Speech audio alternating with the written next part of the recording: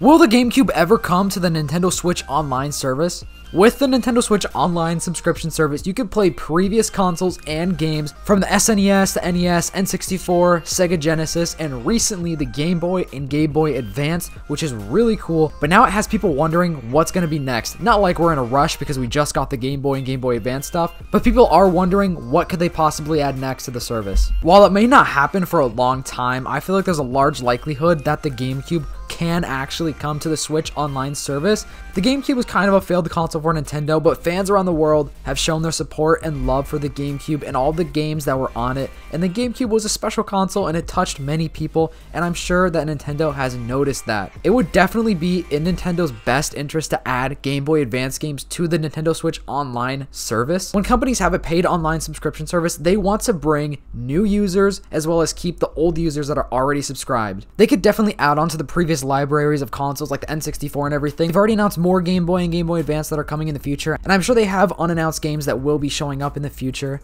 but there needs to be a massive announcement every once in a while that gets people really excited and hyped about the future of Nintendo. Like imagine how cool it would be to play Mario Kart Double Dash on your Switch. That was one of the top selling games for the GameCube and people would love to see it on the Switch, especially people that don't have a GameCube anymore.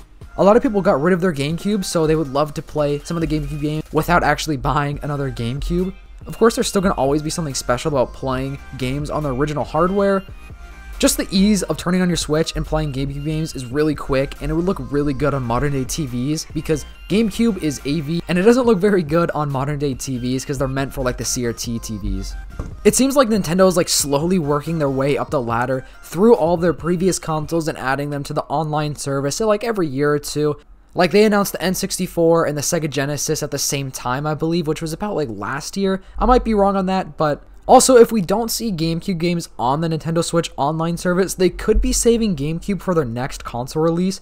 I mean, it's crazy to think that the Switch lifespan is kind of almost over. I mean, it's already been out for almost seven years now. It's been out since like 2017. I can't remember if it was the end or beginning of 2017. But typically, Nintendo consoles last around six or seven years or so. Maybe they're to announce like a heavily updated version of the Switch, you know, with like better hardware and everything. It's tough to imagine that the Switch is so old though. I feel like the Switch just came out. Another reason why they might not ever add the GameCube to the Switch is because they could see the success of the GameCube in today's world compared to how it was back then. Back then, I mean, some games are still popular, of course, but the GameCube was a failure in Nintendo's eyes compared to their other consoles.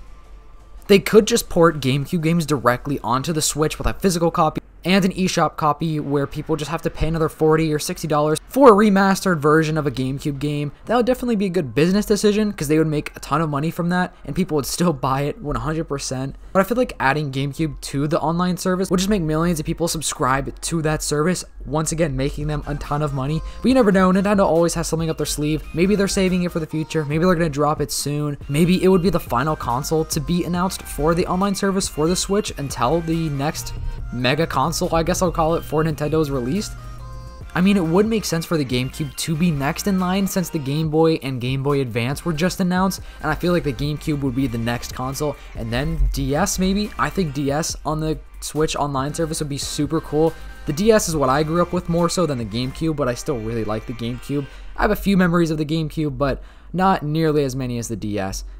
In the future, I definitely want to talk about the Nintendo Switch Online DS service though, because I feel like they could do that, but it'd also be kind of complicated because of the DS with the two screens, so they're going to have to kind of remake some games. But anyways, that's for another day. Let me know what you guys think though. I'm really curious to see if you guys think they're going to add the GameCube to the online service soon or not, or save it for the next console. Let me know if there's anything that you thought of that I haven't mentioned. Make sure to leave a like, subscribe, and I'll see you guys in the next video.